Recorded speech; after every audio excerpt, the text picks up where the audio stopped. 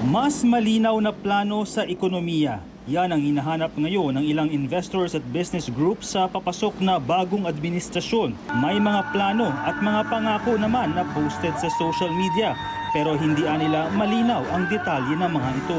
investor community is just, uh, I'd, I'd say, still uh, a bit anxious, uh, of course, uh, hopeful, but uh, still awaiting further details on the plans, the economic plans of Mr. Marcos until we get more clarity on that.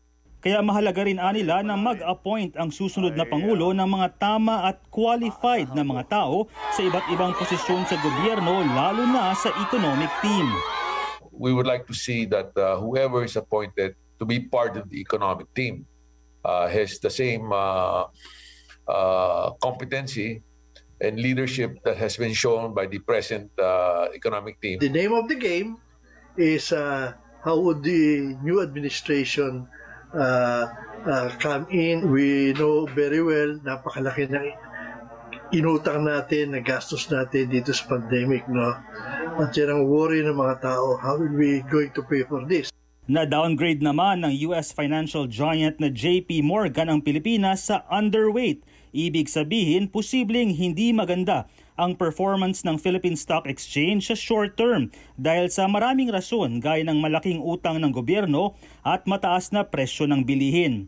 Dagdag pa ng JP Morgan, may agam-agam din ang ilang investors dahil sa kakulangan ng impormasyon ukol sa economic plans ni Marcos at ang kakulangan ng magandang track record niya bilang government official.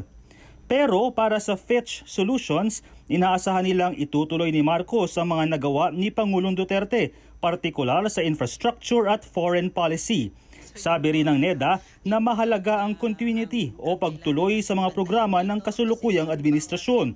Sana lang anya ilatag na ni Marcos ang kanyang economic plans para maging mas kampante ang mga negosyante. Siyempre, isa rin doon, nakikita nila may uncertainty, no? Dahil magkakaroon nga ng, ano, ng, ng palit ng administration. Ah, pero we're hoping na, ano, ah, bantayan nga natin itong, yung mga susunod na, ano, na, na araw and ah, probably until next week, no? Para makita natin yung, yung magiging trend.